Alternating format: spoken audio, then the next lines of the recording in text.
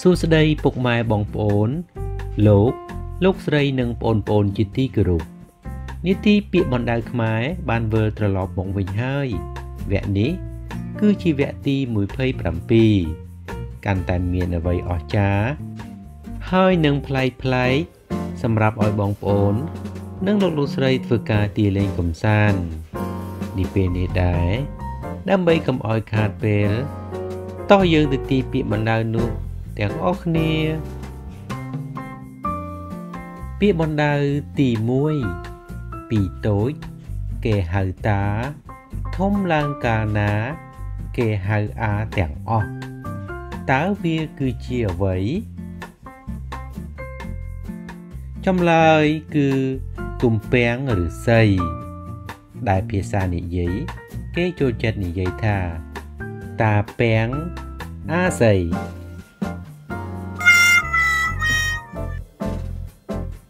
ពាក្យបណ្ដៅទី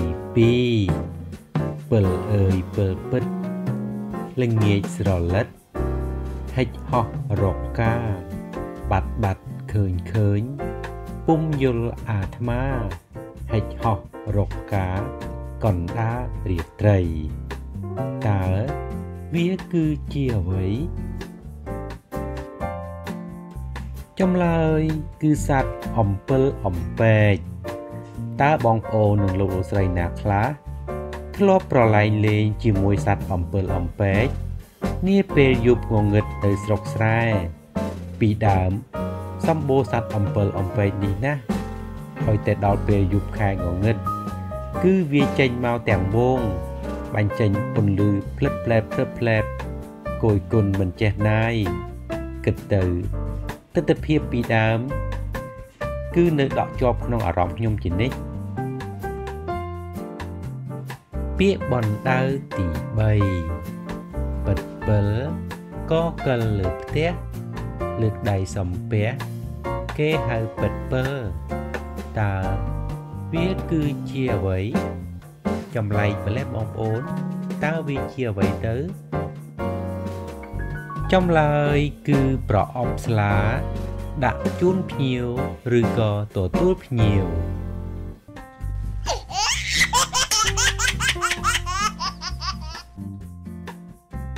ពាក្យបណ្ដៅទី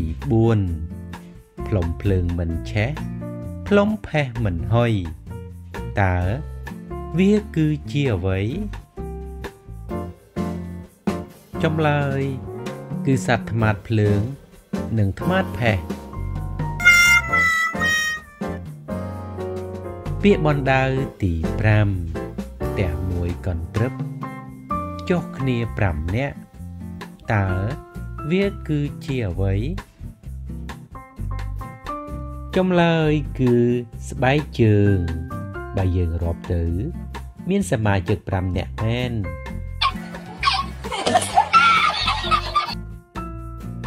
ពាក្យបណ្ដៅទី6ផ្ដៅមួយចំហៀង ស្រែកច្រៀងលើមេឃតើវាគឺជាអ្វីអាយ៉ាបងប្អូន ពាក្យបណ្ដៅនេះប្លែកទៀតហើយតើវាជាអ្វីទៅណោះចម្លើយគឺខ្លែងឯកឬក៏ឯកខ្លែងតើបងប្អូននិងលោកលោកស្រីណាខ្លះធ្លាប់លេងខ្លែងឯកនៅតាមទីស្រែចម្ការ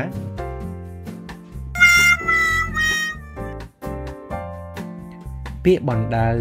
ទី7ផល្លាទុំមិនទុំ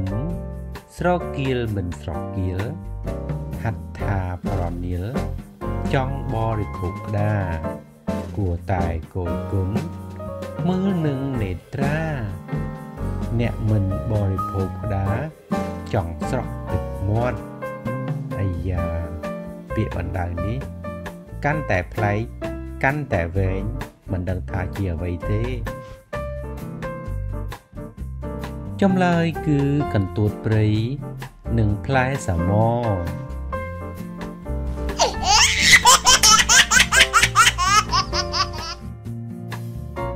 ពាក្យបណ្ដៅទី8ប្រុសអើយប្រុសព្រួល ប្រុសដុសកណ្ដាលទួល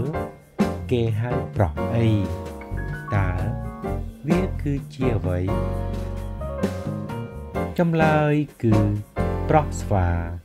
តើបងប្អូនដែលស្គាល់ផ្លែនឹងដែរឬទេ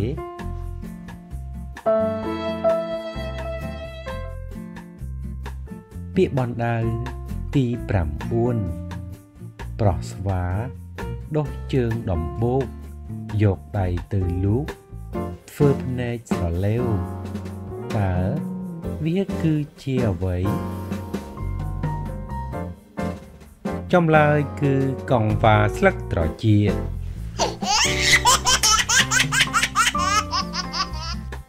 ពាក្យបណ្ដៅខ្មែរវគ្គទី27ដែលបងប្អូន និងលោកលោកស្រីកំពុងតាមដានសម្ដាប់នឹងទស្សនានៅពេលនេះចប់តែប៉ុណ្ណេះក្រុមការងារនឹងចងក្រងពាក្យបណ្ដៅល្អល្អជូនទៀតជាបន្តបន្ទាប់សូមអរគុណសូមជម្រាបលា Bye.